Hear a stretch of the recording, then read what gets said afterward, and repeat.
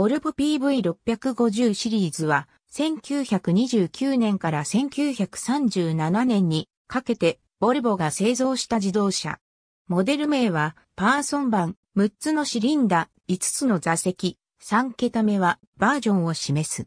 ボルボは、1926年に、最初の車である V4 の後継者の計画を開始した。当時のスウェーデンの自動車市場はアメリカのメーカーよって支配されていた。そのためボルボは競争力を高めるために小さな4気筒エンジンではなく大型の6気筒エンジンを採用した。1929年4月 PV651 が導入された。新型車は強力なエンジンに対応するため強力なシャーシを備えており、車体は伝統的な方法で製造され、木製のフレームが後半で覆われていた。エンジンメーカーのペンタ社が開発したサイドバルブ6気筒 3010cc の DB エンジンは非常に丈夫で、クランクシャフトは7つのメインベアリングで支えられていた。ギアボックスはマニュアルの3速ボックスであった。1930年の春、車は PV652 に引き継がれ、内装とダッシュボードが変更された。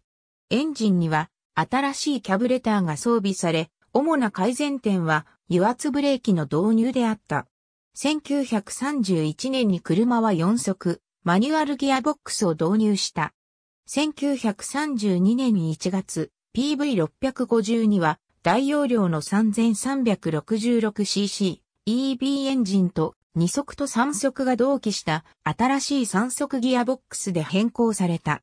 またボルボは新たに商用ジャーシを開発し、小型トラック、救急車、霊柩車のボディを備えた。少数の PV650 シリーズのシャーシは派手な2ドアのオープンボディ、またはクローズドボディで覆われていた。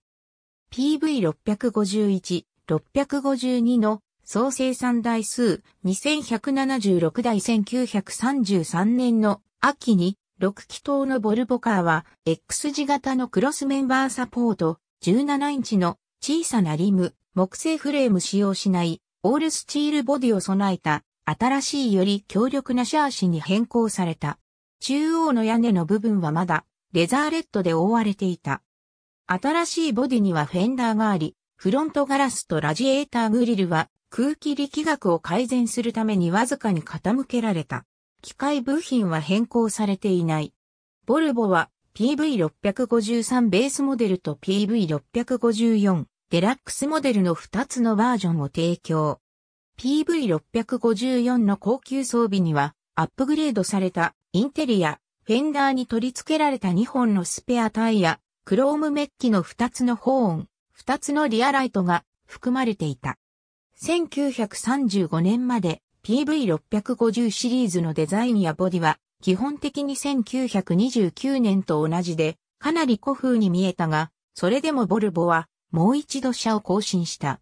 新しい PV658、PV659 は大容量の 3670cc の EC エンジンと V 字型のラジエーターグリルを備えている。乗用車は1936年にボルボ PV51 にとって変わられたが、商用車はさらに1年間使用された。ありがとうございます。